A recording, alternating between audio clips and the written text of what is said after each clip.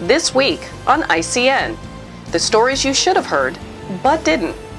Experts fail to understand inflation. Analyst expects a run on the US dollar. A backdoor bailout for Bank of America.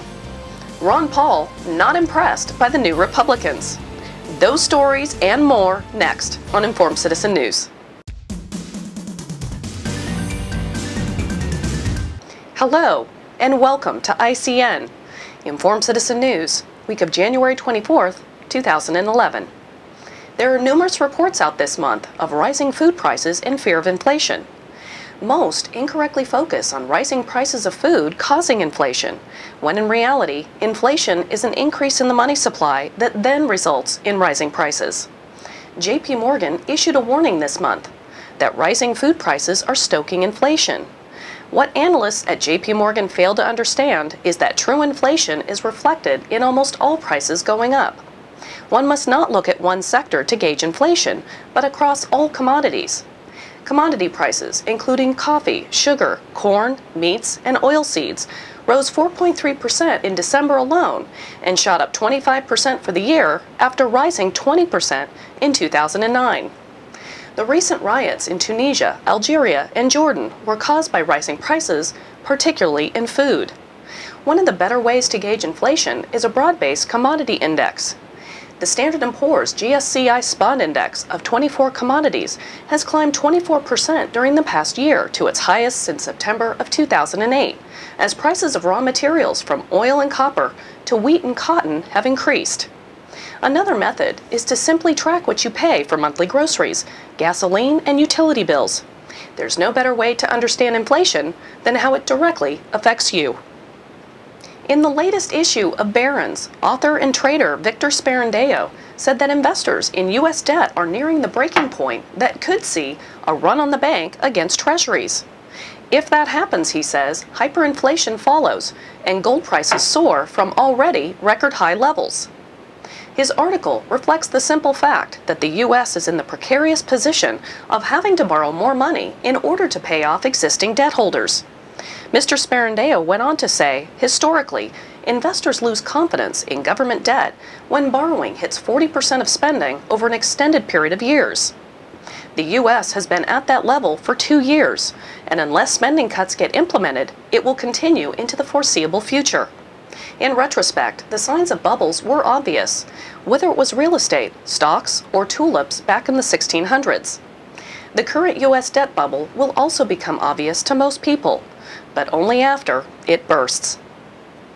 In a prudent move, the Virginia legislature introduced a bill that will establish a joint subcommittee to study whether the Commonwealth should adopt a currency to serve as an alternative to that which is distributed by the Federal Reserve in the event of a major breakdown of the Federal Reserve System. The author of the bill justified the action by directly quoting a Supreme Court ruling that asserted that states have the responsibility to protect the lives, health, and property of citizens and to preserve good order. Throughout history, currencies have failed. It's wise for states to consider a Plan B when it comes to the Federal Reserve note.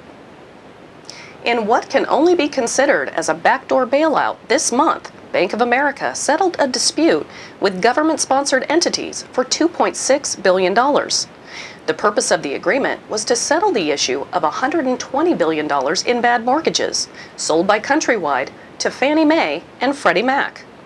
Bank of America had acquired Countrywide as part of the stopgap measures to save the financial system in 2008. Settling with Fannie and Freddie for two cents on the dollar eliminated the need for the Obama administration to bail out B of A directly. This looks to me like a gift from Tim Geithner. There's politics all over this, said Chris Whalen of Institutional Risk Analytics. Rebel Cole, a real estate and finance professor at DePaul University in Chicago, said, how Freddie can justify this decision to settle all outstanding and potential claims before any of the private label putback lawsuits have been resolved is beyond comprehension. This smells to high heaven, and they should be called out.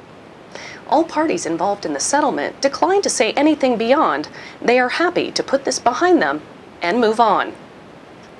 Peter Schiff wrote a well-timed article this month titled, Numismatics Are Fool's Gold. Schiff is referring to a specific category of gold coins called numismatics. The decline in the dollar and corresponding run up in the price of gold has caught the attention of many people. They are looking at moving their money into gold, and numismatic coins get more hype.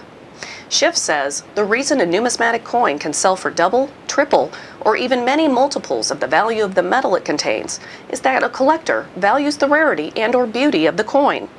For instance, a non-numismatic 1-ounce gold coin that was in circulation prior to 1933 may have a 5% premium over the current spot price of gold. That's very little speculative value. As Schiff indicated, numismatics can have markups of over 200%. Like art, one must have a thorough understanding of the numismatic coin market before diving in and making a big purchase. A word of caution, tread carefully around numismatic coins. If you're a new investor to gold and are considering buying, Schiff says, chances are you're making a fast-talking salesman very rich at your expense. Newly elected Governor of New Mexico, Susana Martinez, stormed into office this month by firing all members of the state's Environmental Improvement Board. Martinez was critical of the board's decision to institute cap and trade rules in New Mexico. Martinez also halted all proposed and pending regulations. To rescind those rules, the new members of the EIB, which will be appointed by Martinez, will have to hold new public hearings and allow for public comment. The new governor said the fired members could apply for their old positions again and would consider their reemployment on a case by case basis. Weather manipulation was once relegated to conspiracy circles. Not anymore, with the overt cloud seeding in Beijing prior to the 2008 Summer Olympics, and now with Abu Dhabi scientists claiming they've created 50 rainstorms in the desert this past summer. Using giant ionizers shaped like stripped down lampshades on steel poles, they claim they can generate fields of negatively charged particles. These promote cloud formation, and researchers hope that they could then produce rain. It's believed to be the first time the system has produced rain from clear skies, according to the Sunday Times. This system is a fraction of the cost of a desalination plant. No doubt about it, weather manipulation is now out in the open. Ron Paul threw a little rain on the Republican parade this month by saying that even if Republicans fulfill their pledge to slash $100 billion in federal spending, the United States still only has a 1 in 10 chance to avert an economic catastrophe. He claims a $100 billion cut in federal spending, a goal that leading Republicans now are cautioning may not be realistic, would amount to peanuts. Congress needs to vote on raising the U.S. debt ceiling, which is the maximum amount of debt the federal government can borrow. Ron Paul said he would only vote once to increase the debt ceiling if Congress agrees in turn to balance the budget every year going forward it's probably a safe bet that he won't have to worry about casting that yes vote anytime soon, as the leadership in Washington doesn't have the fortitude to balance the federal budget. According to Zillow, home prices fell for the 53rd consecutive month in November, taking the decline past that of the Great Depression. Home prices have fallen 26% since their peak in 2006, exceeding the 25.9% drop registered in the five years between 1928 and 1933. According to Stan Humphries, Zillow's chief economist, for the next six to nine months, the larger factors affecting the housing market that will produce more home price declines will be the excess inventory of homes, high negative equity and foreclosure rates, and weakened demand due to elevated unemployment. Before things get better, they have to bottom out.